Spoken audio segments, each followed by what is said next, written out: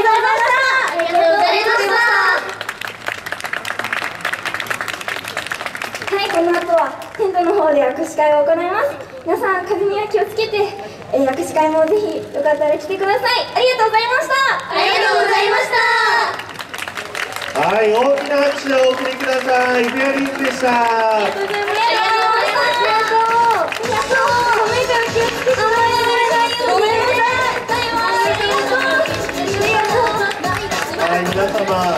雨の中本当ありがとうございます。いやスタッフさんちょっと